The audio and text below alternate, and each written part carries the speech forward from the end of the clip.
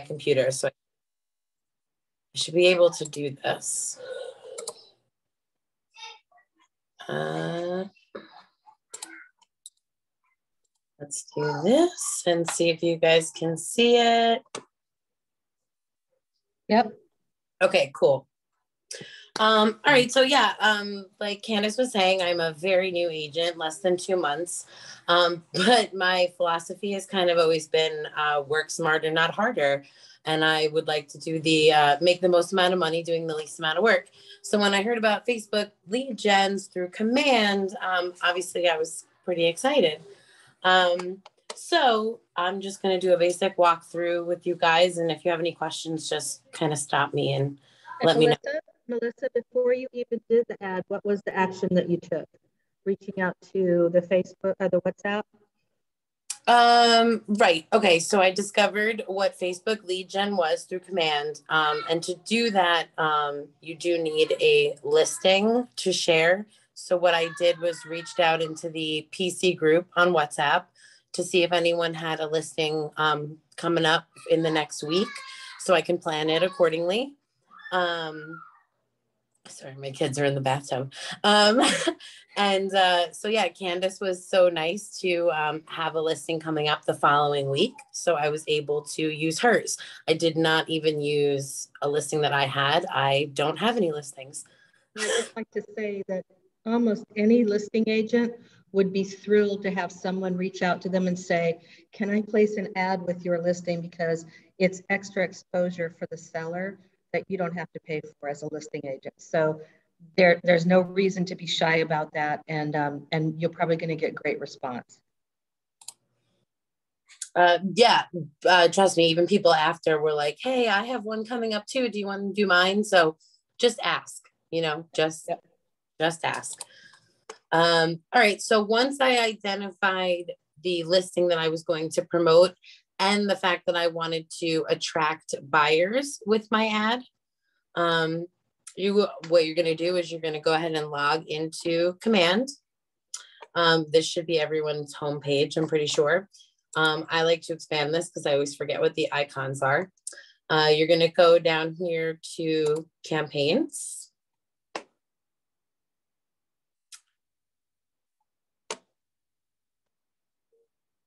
Thinking, thinking.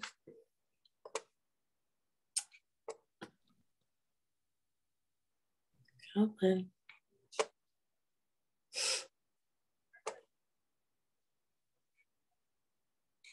There we go.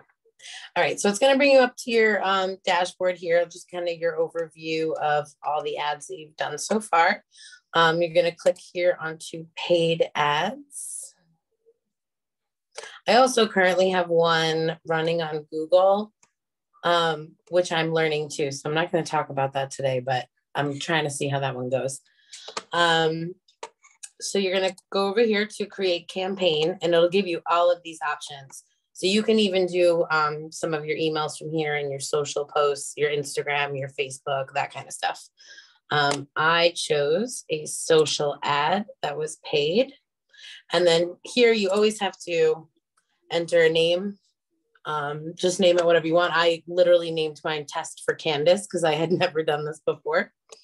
And then I went down to attract buyers. Obviously, there's all of these other options here.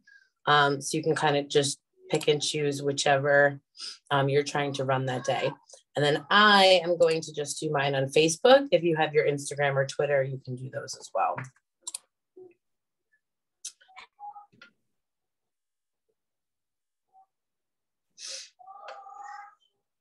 Um, Candace, do you actually maybe have a, a listing ID that we can use just for test purposes? Um, yeah, let me just minimize and uh, this is one that just went active today. One second. Yeah, of course. Um, so while Candace is getting that, you're gonna go ahead and click add listing. And then here it'll give you a drop down of either by property address, MLS number, or by the listing agent. Um, so I actually may be able to look up Candace. Uh, make sure on the right here, it, it always defaults to only my listings, So you'll never find one if you're looking for it and you don't have one. Make sure that says all listings. So I've got a listing number for you. Uh, sure, let's do that. Okay, 691 6124. Oh, wait, it's supposed to be active. Me change it to active. Oh, I can do uh, coming soon also. No, it was on hold, so. Okay. If not, I'll give you a different one. Oh, there we go. The Moreland one, yeah? Mm-hmm. Okay, perfect. So this was actually the property I ran. Oh, do you want a different one? No, it's okay because Okay. I'm just showing everybody. Okay. All right, so there you go. It's gonna auto pop in there for you. And on the right, on the ad preview, it's just gonna put in those MLS pictures for us. All right, so text. I changed this a little bit um, from Candace's MLS posting, um, but this is just gonna be your text. You can go ahead and change this. It does auto populate like the first two lines of the MLS listing. Um, you can make that whatever you want. And again, on the right-hand side here, it's gonna preview how it'll show on Facebook.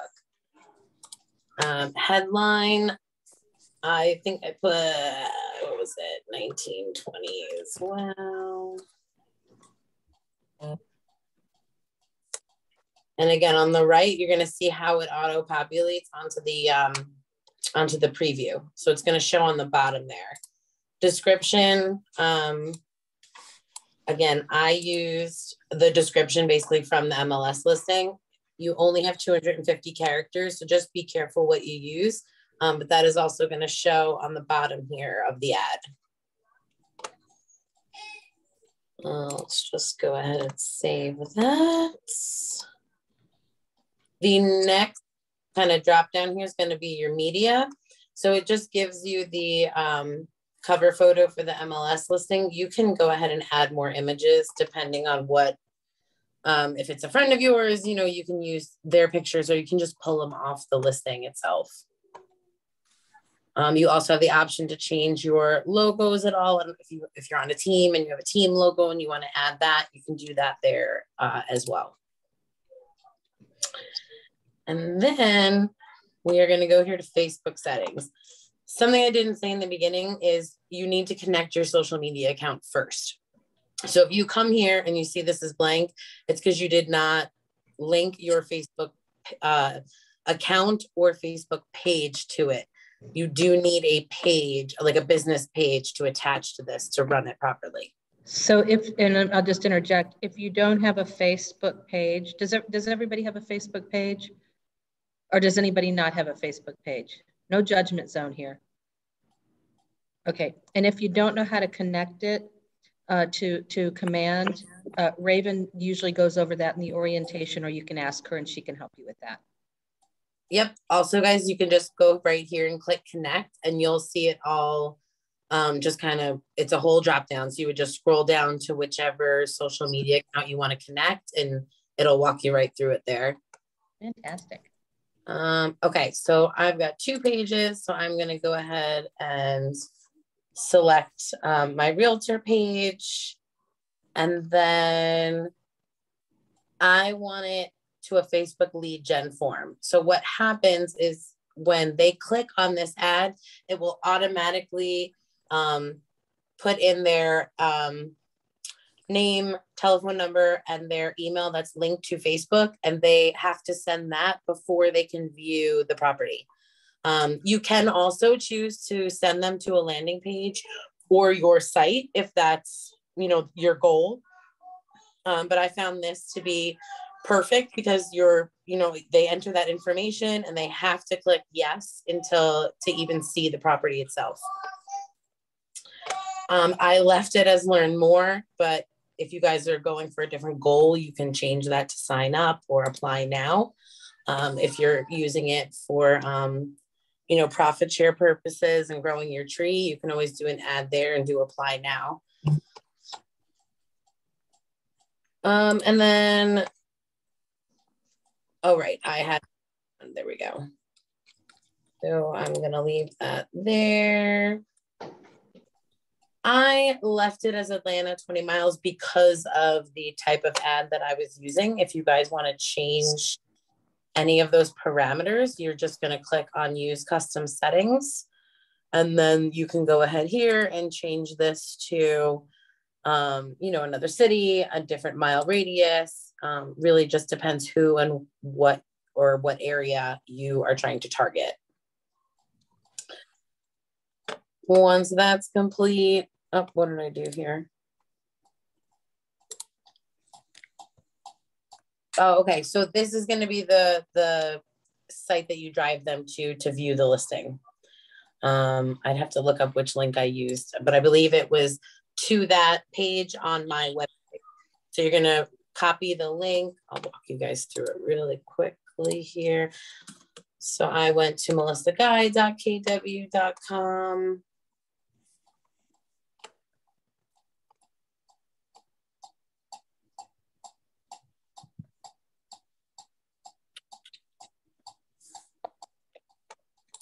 Uh, Questions? Does anybody have any questions so far? yeah, well.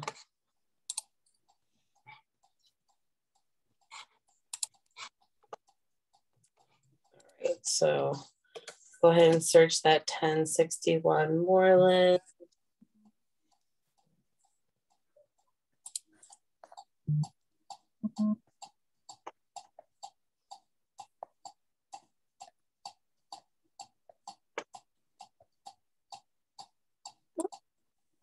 What did I do here?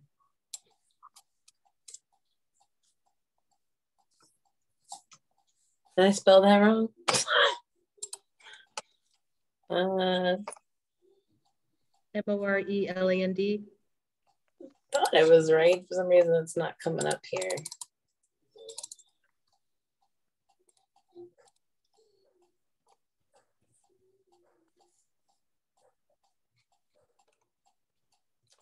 That's so weird. I don't know why this isn't coming up here.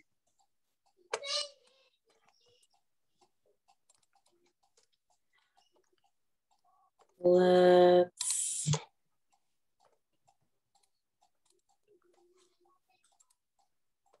use this zip code real quick.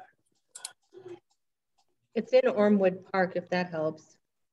I saw that as one of your choices.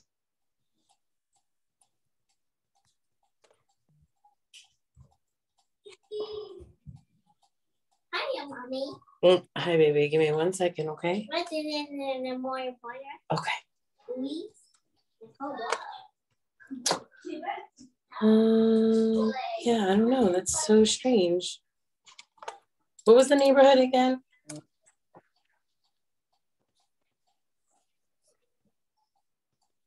Candace, what was the neighborhood? Ormewood Park, O R M E W O O D.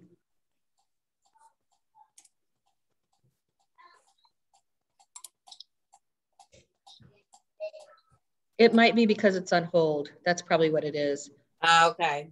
I just changed it, but it might take a minute. Ah, okay. So yeah, that's that's definitely it.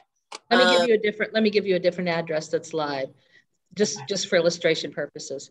3410 Waters Edge Trail. Yep, I was gonna say let's just use that one.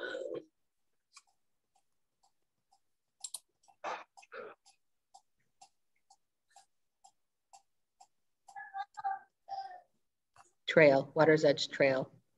Okay, here we go. Okay, Yep, So that's it. hypothetically say that we uh, use this listing instead. So what I would do is go ahead, search that on your website. Go ahead and copy that hyperlink.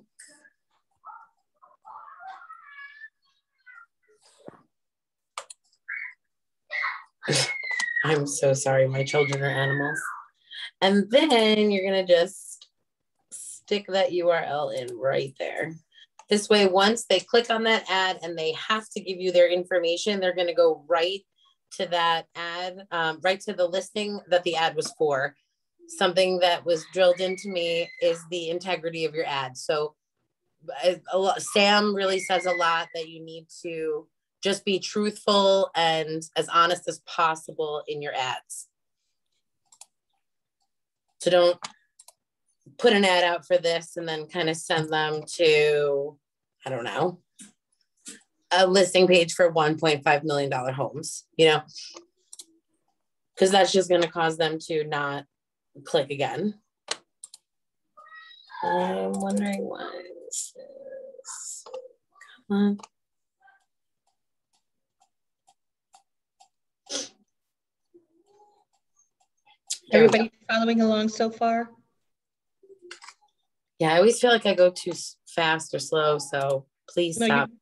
You're doing great. I just want to make sure sometimes people get, if they're following along, they get stuck in a certain place and I want to make sure they've got a chance to, to catch Mhm. up.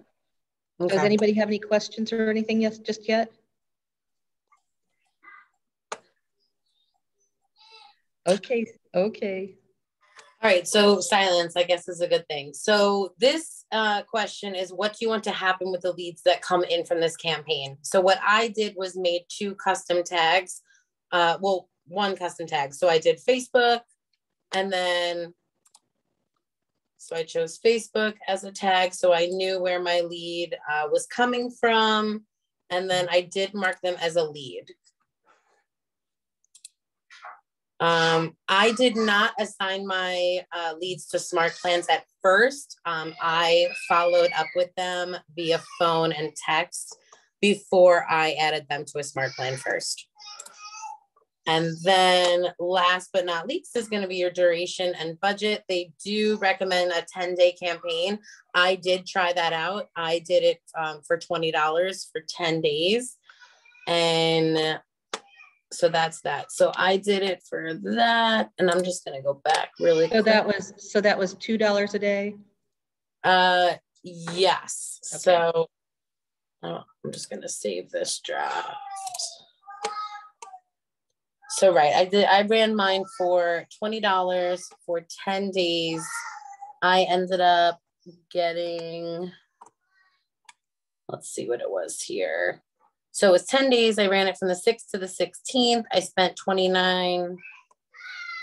Oh, I guess I spent twenty. Oh wait. Mm. Oh, okay, that's a different number. Um, so it was 28 cents per click, a dollar 82 per lead. I had 11 leads and I spent $20 total.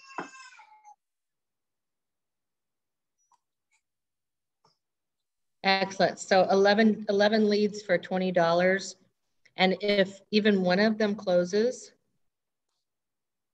if even one of them closes or one of them leads you to someone who closes, boy, I can't even do that kind of math in my head what that return on investment would be. Yeah, the only other thing I will say is so um, I, I did follow up via phone with everyone. I only spoke to, I'd say, three or four of those people. Um, one gentleman was not very happy with my phone call, um, but we had a nice conversation. And then the others um, are definitely going to be needed, uh, excuse me, need to be assigned to a smart plan of some sort. But I was chatting with another friend of mine who's an agent up in New York, and he was letting me know how valuable the text message smart plans are because of the long lead time with Facebook generation. Mhm. So that's kind of something that I'm going to set up in the next couple weeks um, because I I they they definitely take a lot longer than other channels, but the value is still there. So, so what I know is that if you have, if you, if you have short term, for instance, you're doing cold calling like on Vulcan. And um, you're getting immediate, like you're calling expireds and FSBOs who are ready to sell right now. And then you have something like this in place, then you know that you have, what you want is you want to have a rolling kind of, um, a rolling kind of cycle of leads coming in so that you're not constantly wondering where your next lead's going to come from. So having leads out there for six months to a year is a really good thing because those are the people when you nurture them that are going to give you your business next year. So you don't have to scramble so hard to get immediate leads. And and they can they're they're part of why a business in real estate can scale double each year. So which is a reasonable goal for a lot of agents. Um, is is to so for instance if this year I did 10 I want to do 20 next year it's partially because of those long-term leads that I'm nurturing that I can do that. So they're very valuable. They just aren't as immediate and not necessarily. Now, sometimes they can be, but not necessarily. So yeah, any- I haven't even, I'd say, had a like a real conversation with any of them about it, but um, they all are looking for I'd say six plus months because they were all people who were just like clicking and looking to get an idea. Yeah, and what I would probably and and so so I I think this is just awesome that you took the initiative to do this and that you're competent enough to teach it, which is fantastic. Um, I would also say that it's important to have a follow-up plan, um, like Melissa said, that she's developing, um, so that you know that you, you've got to respond to the leads, otherwise they just go away, right? So you've got to respond to them. They've raised their hand and said, I'm interested in this house. I might, before I called them, um, know of some other listings in that price point in the same area. Um, but I, I wouldn't necessarily make that a criteria that I had to do before I called them because mostly what you want to do is call and ask a lot of questions and find out what it is they're interested in, why they clicked on it, what prompted them to stop out of all the things that they get to, to stop scrolling and click on that ad, what caught their attention.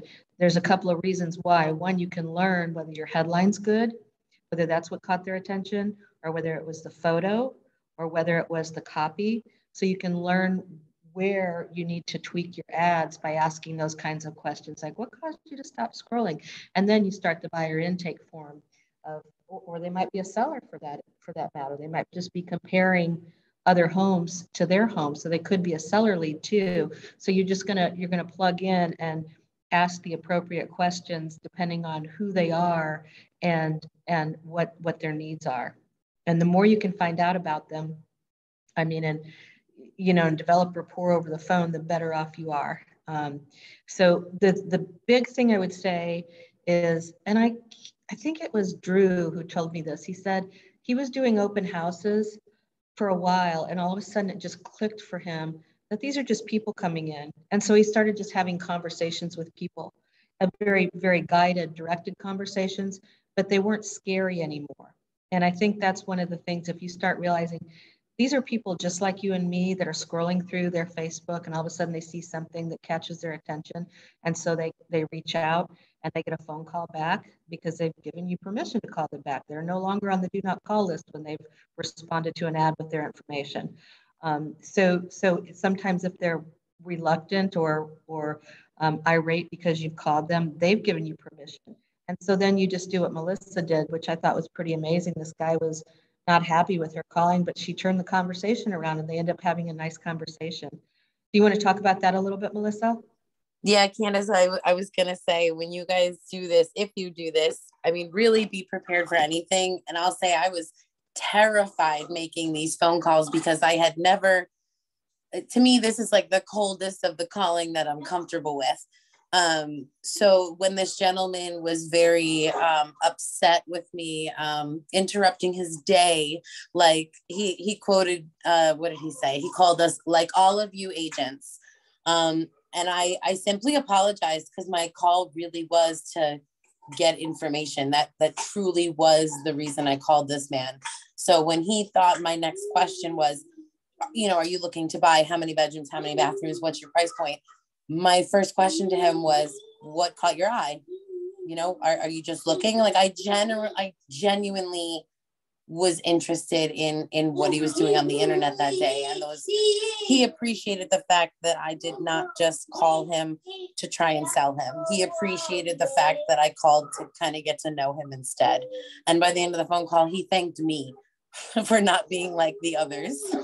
So That's fantastic. So just be yourself and i you're not going i mean i would say it's a unicorn if you call one of these people and they say yeah sure come over. I want to buy a house next month. Um, if that happens amazing. Tell me what you did.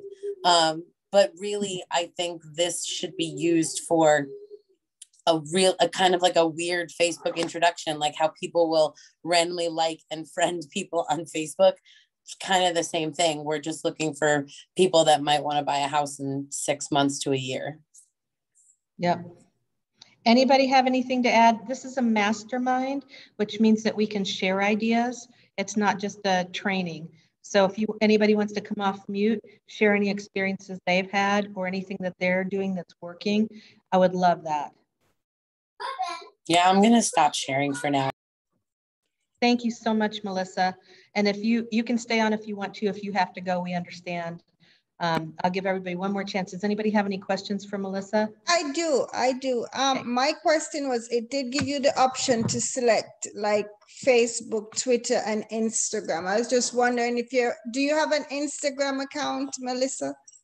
So I do. I I personally kind of use my social media for different things. I use my Facebook page for kind of like strict market information, and then I use my Instagram page for, I will say more um, just like content marketing about neighborhoods, open houses, etc.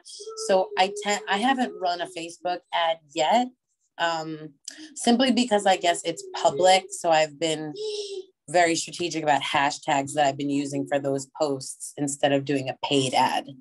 If that Did makes you mean. Instagram instead of Facebook? Right. Yeah. Facebook, I feel like it's much harder to reach a broad amount of people because you need to be connected to them or you need to be friends with them. With Instagram, all you need is a public profile and good hashtags, and you'll get in front of other users. Can you share some of the hashtags you use on Instagram that seem to be successful for you?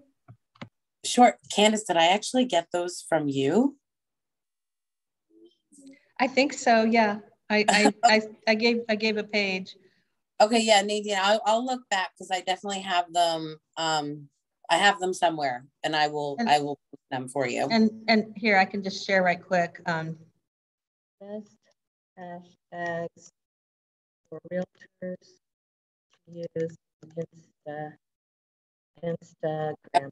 The most, the most important thing I can teach you is to be resourceful. And I'm not shy about saying that Google is my brain.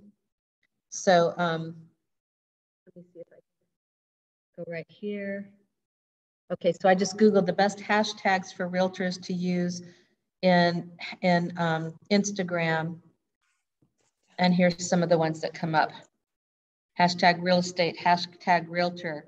And then I would probably Google next, what hashtags do home buyers or home sellers look for in Instagram? That would be my second resourceful action.